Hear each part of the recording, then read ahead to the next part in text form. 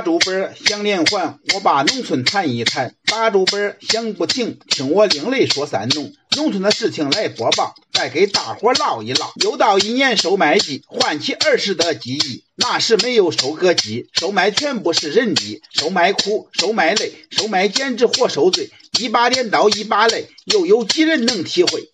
大人收麦去磨练，小孩也都不清闲，配合三峡大生产。学校放假回家转，学生全部都放假，支援收麦和三峡。小麦大豆最繁忙，小孩也要去帮忙。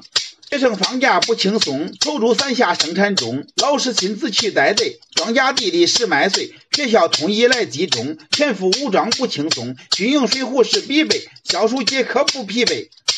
来到麦地四散开，收拾落地的小麦，眼观六路四处瞄，小心不要扎住脚。拾到麦穗扎成把，一把一把地上码，一把一把放一块，不敢偷懒和懈怠。来来回回多少趟，辛苦劳累全都忘。反反复复多少回，相互扶持相互陪。有人兴奋唱起歌，洒下一路的欢乐。田间地头去休息，喝水歇脚吃东西。盘着腿喝着水，开枝劳动者最美。拾麦日当午，满头满脸土，垂直盘中餐。农民最辛苦，体会诗中的含义，印象深刻难忘记。拾麦时候趣事多，洒下一路的欢乐。撒开脚丫去追兔，东奔西跑追不住。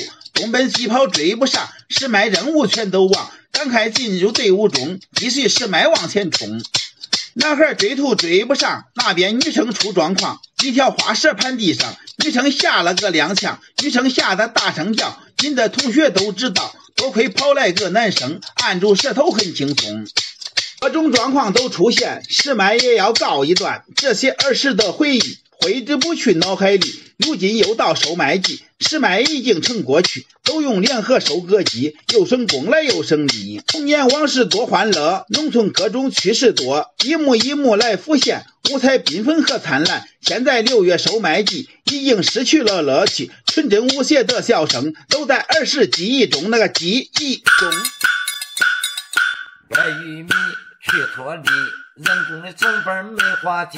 这样算来又算去，一季的功夫费进去呀。种上十亩大玉米，卖不到一个苹果去。一亩玉米的收成不够感冒打针用，农民播种下希望，收获一地的凄凉。